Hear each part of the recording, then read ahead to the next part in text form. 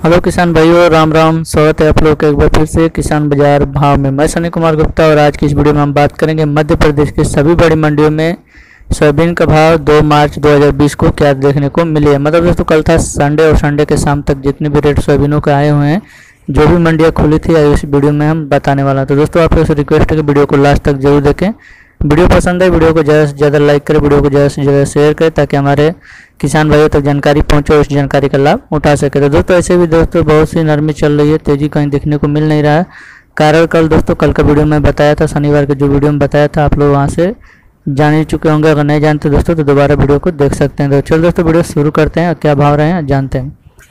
A lot मंडी की बात करूँ दोस्तों तो अलोट मंडी में उनतीस सौ से लेकर उनतालीस सौ अस्सी रुपये का भाव देखने को मिला है। आवक की बात करूँ तो आवक यहाँ पे पंद्रह टन देखने को मिली है। बदवाहा मंडी की बात करूँ बदवाहा मंडी में दोस्तों बत्तीस सौ से लेकर अड़तीस सौ पचास रुपये का भाव देखने को मिला है।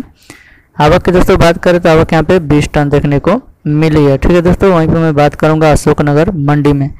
दोस्तों, अशोकनगर मंडी में उनतीस सौ से लेकर चार हज़ार का भाव देखने को मिला है। सोयाबीन में आवक की दोस्तों बात करूँ तो आवक यहाँ अभी भी पंद्रह टन देखने को मिली है। वहीं दोस्तों बात करेंगे यहाँ पे खाते गाँव मंडी में। तो खाते गाँव मंडी दोस्तों तीन हज़ार से लेकर चार हज़ार का भाव देखने को मिला है। आवक की दोस्तों बात करूँ तो आवक यहाँ पे पैंतीस पैंतीस टन के देखने को मिले हैं। वहीं पे दोस्तों बात करेंगे यहाँ पे। नलखेड़ा मंडी में नलखेड़ा मंडी में सत्ताईस सौ से लेकर दोस्तों अड़तीस सौ का भाव देखने को मिला है। आवक की दोस्तों बात करूँ तो आवक यहाँ पे पच्चीस टन देखने को मिली है। सोनकच मंडी की बात करूँ तो सोनकच मंडी में दोस्तों तीन हज़ार से लेकर इकतालीस सौ का भाव देखने को मिला है।